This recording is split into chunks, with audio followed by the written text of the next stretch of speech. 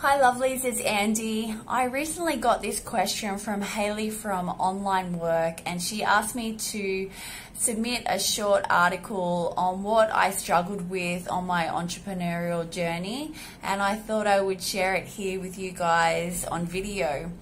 So the biggest thing that I've struggled with is my ego and I had to break down a lot of social conditioning of what my ego wanted and what my soul's purpose um, truly wanted me to do.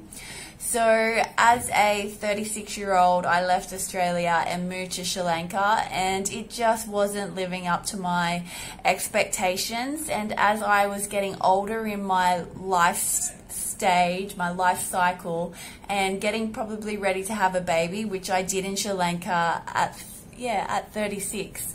Um, and you know the back of my brain and my ego was just going i want a house. I want the house in australia what everybody else has. Um, you know my mum had a family home. She looked after her kids. Um, i want to be near my family. Why don't i have this? Why why is this entrepreneurial journey like taking so long and i've got nothing to show for it um, and I had a lot of pain around that that I wasn't, I didn't achieve. And my husband's not also providing that family house for me as well.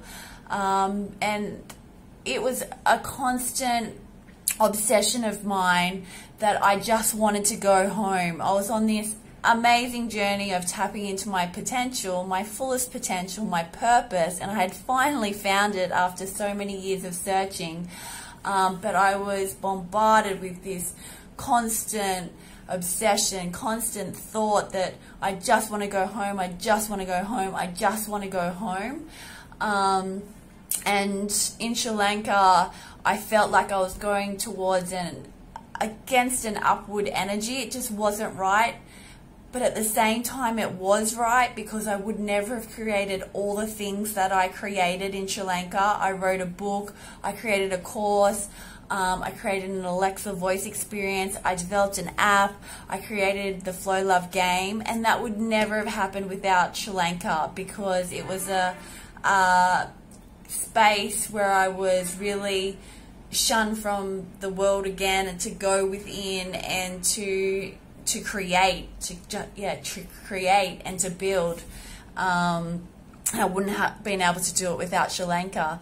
And then also coming to Vietnam, I still had that constant obsession, just want to go home. I didn't know what Vietnam was going to be like.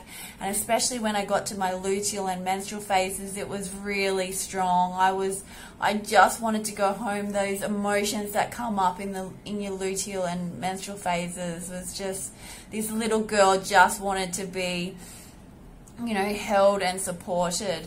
Um, but as the months have gone on um, in Vietnam, I started to detach from my ego of the house and what the house actually means. And I actually live an amazing lifestyle here in Da Nang with my family, with my toddler. And I've really put more value on lifestyle over the house. Um, we get to go to the beach every day. I live in flow. I can go to a yoga or workshop anytime I want. I can get a massage. I can get the most amazing food here in Da Nang. And it has been a really amazing um, psychological shift from where I was four years ago, even th- three years ago, because it's only in this since January um, that it's really broken my ego. And that's also to do with going home. I got to go home for Christmas in 2019 after all that obsessing of just wanting to go home, just wanting to go home. I finally got it.